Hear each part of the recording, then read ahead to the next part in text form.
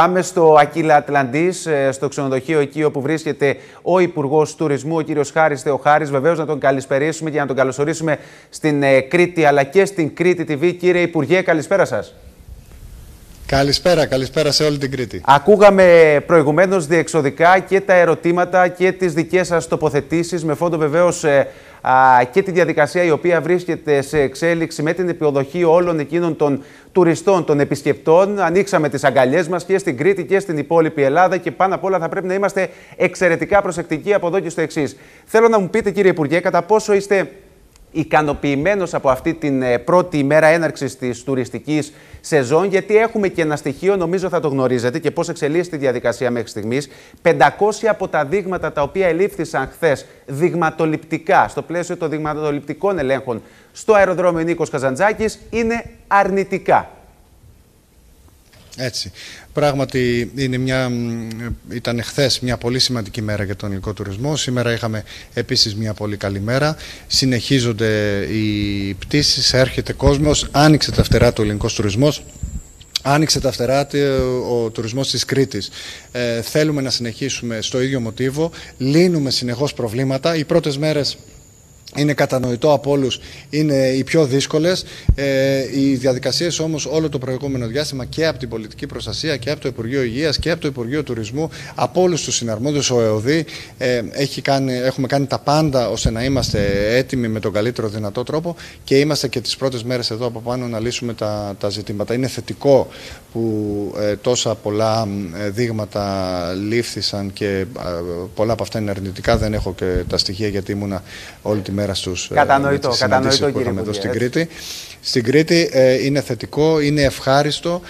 έτσι κι αλλιώς τις προηγούμενες 15 μέρες είχαμε δει ότι έχουμε κάτω από ένα στα χίλια ε, θετικά ε, από, όσα έχουμε, από όσα είχαμε τεστάρει και εκεί πέρα σε πολλές περιπτώσεις είχαμε και καθολικό έλεγχο. Συνεπώς δεν υπάρχει κανένας λόγος φόβου ή ανησυχίας. Η χώρα είναι ασφαλής. Θα την παρακολουθούμε όμως από πάνω κάθε μέρα και με τους γιατρούς και θα ακολουθούμε τις συμβουλές τους όπως κάναμε όλο αυτό το χρονικό διάστημα. Κύριε Υπουργέ, μιας και μιλάμε έτσι και για το κομμάτι των κρουσμάτων, ε, γιατί είναι ο μόνιμος φόβος φαντάζομαι και του Υπουργείου και των ξενοδόχων και των ενασχολούμενων με τον ε, τουρισμό αλλά και των εργαζομένων κατ' επέκταση. Αλυσιδωτές είναι οι αντιδράσεις σε περίπτωση που έχουμε μια έξαρση των κρουσμάτων και των συμπτωμάτων σε επίπεδο Κρήτης. Αλλά υπάρχει ένα σχέδιο Β, ένα plan B, ένα σχέδιο έκτακτης ανάγκης σε περίπτωση που έχουμε μια σχετική έξαρση. Πρώτον και δεύτερον, ποιος θα είναι εκείνος ο αριθμός εν καιρό πλέον α, τουριστικής σεζόν, ο οποίος θα σας ανησυχήσει περισσότερο, ο αριθμός των κρουσμάτων; Δεν νομίζω ότι έχει και πολύ νόημα αυτή η συζήτηση. Η χώρα μας έχει πια διαδικασίες, έχει μάθει πώς να αντιμετωπίζει και σε τοπικό επίπεδο και σε υπερτοπικό επίπεδο ε, τη, τα κρούσματα. Έχει εκείνα τα συστήματα και η πολιτική προστασία που παρακολουθεί και τον τρόπο με τον οποίο ε, ο ιός ε, κινείται στη χώρα. Άρα δεν έχουμε κανένα ζήτημα. Δεν χρειάζεται plan B με την έννοια ότι εδώ ερχόμαστε να αντιμετωπίσουμε τις ε, συνήθειε διαδικασίες. Το κάνουμε όταν η χώρα μας είναι δυνατή, δηλαδή όταν το Εθνικό Σύστημα Υγείας της έχει εκείνες τις εφεδρίες, τους σπόρους, τους ανθρώπους και έχει ενισχυθεί κατά τη διάρκεια της κρίσης να αντιμετωπίσει τα, τα ζητήματα, όταν έχει ενισχυθεί σε προσωρινά για τους μήνες τους τουριστικούς στις τουριστικές περιοχές το Εθνικό Σύστημα Υγείας έχουμε μια διπλή ενίσχυσή του ε, για τις τουριστικές περιοχές. Το κάνουμε όταν οι, οι ρυθμοί και οι αριθμοί της νόσου εσωτερικά στη χώρα μας είναι χαμηλοί, άρα έχουμε το περιθώριο να, να αντέξουμε, άρα δεν υπάρχει κανένας λόγος Σκέφτεστε κύριε Υπουργέ Αυτά και τα οποία έχουμε σχεδιάσει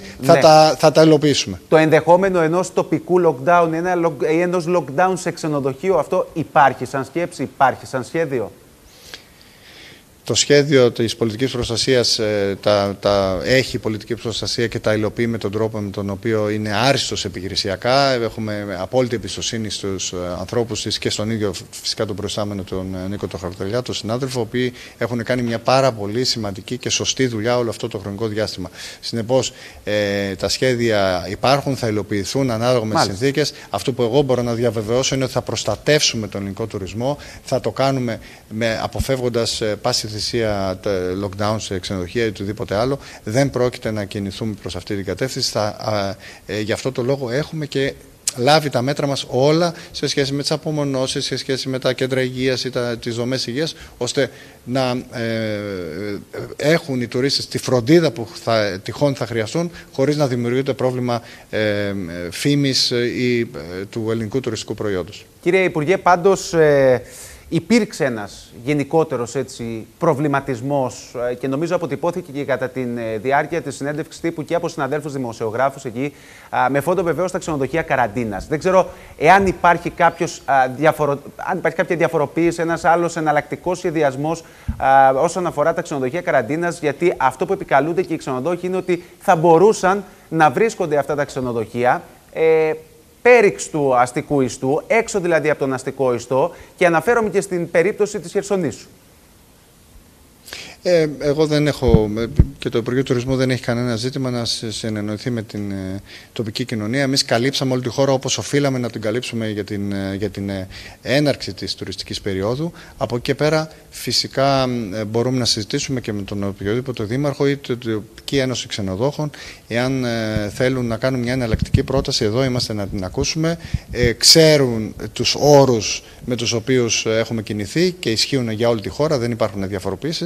Εδώ είμαστε όμως να ε, ακούσουμε και την, ε, τον παλμό της Δεν σας έδωσαν μέχρι στιγμής ε, πάντως κάποια εναλλακτική πρόταση κύριε Υπουργέ, έτσι; Όχι, όχι ακόμα. Ε, ξαναλέω, πάντοτε υπάρχει χρόνος. Εμείς είμαστε ανοιχτό Υπουργείο.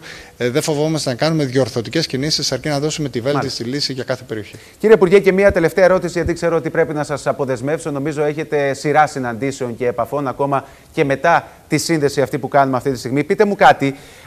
έχετε μία πρώτη εικόνα για το πώς θα εξελιχθεί ο τουρισμός. Θα μιλήσουμε συγκεκριμένα για την Κρήτη από εδώ και στο εξής, με φόντο βεβαίως το κομμάτι με τις πληρότητες περισσότερο και την επισκεψιμότητα. Το ένα σκέλος. Και το δεύτερο σκέλος, τι θα γίνει τελικά και με τους εργαζόμενους, γιατί είδατε και τις αντιδράσεις και χθες όταν είχαμε την άφηξη τη δική σας και στο αεροδρόμιο του Ηρακλείου. Ναι, δεν, ε, δεν είναι η ώρα της πληρότητας, δεν είναι η ώρα των αριθμών. Δεν είναι η ώρα, αν θέλετε, ακόμα και της επέκτασης της τουριστικής περίοδου. Όλα αυτά είναι στόχοι, αλλά είναι στόχοι αυτή τη στιγμή που πρέπει να πάνε σε μια δεύτερη μοίρα. Η πρώτη μοίρα είναι το ασφαλές άνοιγμα, να πετύχει το πρώτο διάστημα και να αποδείξουμε σε όλο τον κόσμο ότι η Κρήτη, η Ελλάδα μπορεί να το κάνει, μπορεί να ανοίξει τον τουρισμό της με ασφάλεια. Όταν κερδίσουμε αυτή τη μάχη, ξέρετε ότι τα εφόδια μας για να πετύχουμε και τους στόχους και της επέκτασης και της μεγαλύτερης παραμονής των τουριστών και του υψηλότερου τουριστικού εισοδήματος ε, θα είναι στόχοι οι οποίοι θα είναι λίγο πιο εύκολοι να τους πετύχουμε γιατί θα έχουμε το μεγάλο εφόδιο. Έχουμε το πρώτο μεγάλο εφόδιο μαζί μας, το εφόδιο της ασφάλειας, ότι πετύχαμε να ε, αντιμετωπίσουμε τη διά, στη διάρκεια της κρίσης, άρα έχουμε ένα εθνικό σύστημα υγείας που μπορεί να αντέξει. Αυτό το λέμε στους ε, ταξιδιώτες που έρχονται.